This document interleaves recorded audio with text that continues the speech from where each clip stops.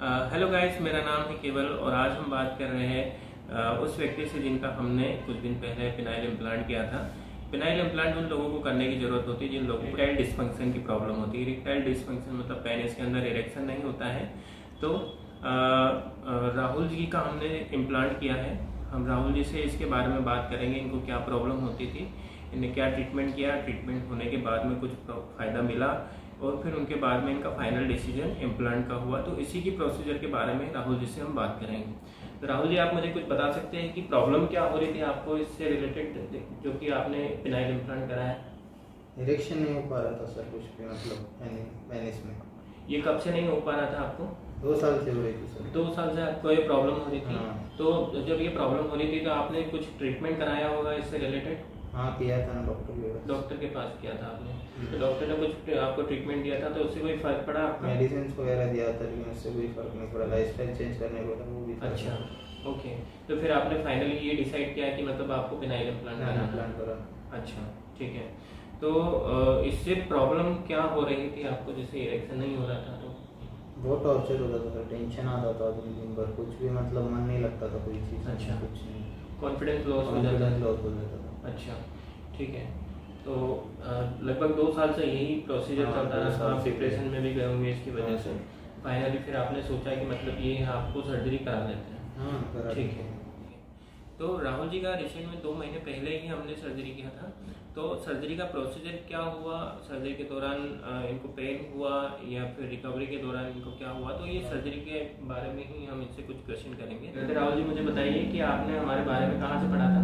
YouTube पे से देखा था। यूट्यूब पे आपने हमारा वीडियो देखा। जी। का डॉक्टर सुमित जायसवाल के कई सारे वीडियो है पेनाइल इम्प्लांट के बारे में। ठीक है।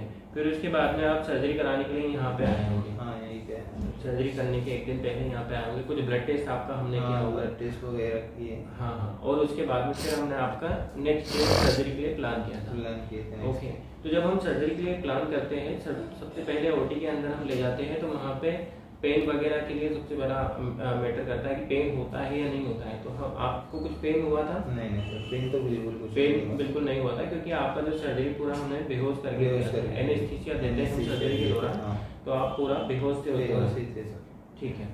तो सर्जरी के दौरान आपको कुछ पता नहीं चला। सर्जरी आपका लगभग 45 से 50 मिनट के पचास अंदर हो जाता गया है। था और उसके बाद में आपको हम एक घंटे के बाद में रिकवरी के लिए रूम में शिफ्ट कर देते हैं। हाँ सही है। ठीक है? हाँ। हाँ।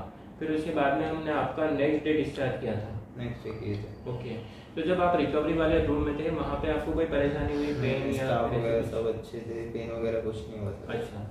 फिर उसके बाद हमने आपको नेक्स्ट डे डिस्चार्ज किया था। नेक्स्ट डे डिस्चार्ज होने के बाद में फिर आप अपने घर पे चले गए थे। हम्म। उसके बाद में आपको कोई ऐसी- प्रॉब्लम फेस हुई जिससे आपको मतलब प्रॉब्लम हो?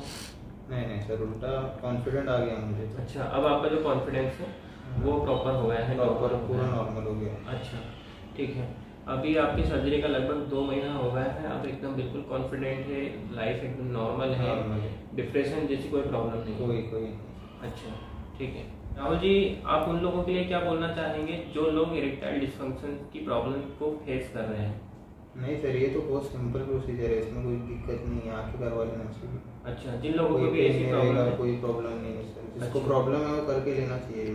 अच्छा ताकि वो कॉन्फिडेंट में वापस आ जाए। उनका डिप्रेशन ऐसा कुछ प्रॉब्लम बाकी कुछ भी कर लो कोई भी फ़र्क नहीं पड़ेगा अपन यही करना पड़ेगा आके अच्छा। ये बिल्कुल सही बोल रहे हैं क्योंकि जो पिनाइल इम्प्लांट होता है ये एक लास्ट सॉल्यूशन होता है और इसके अलावा कोई सॉल्यूशन नहीं है जिन लोगों को एक टायर डिस्फंक्शन की प्रॉब्लम होती है।